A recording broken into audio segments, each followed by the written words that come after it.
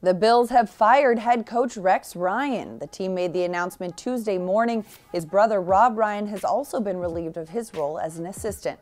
Now the Bills were 7 and 8 this season and 3 and 6 in the last 9 games, missing the playoffs for the 17th straight year. In two seasons in Buffalo, Ryan was 15 and 16 in his 8-year head coaching career with the Jets and the Bills. Ryan is 61 and 66. Now, Anthony Lynn will serve as the Bills' interim head coach for Buffalo's final game against the Jets Sunday.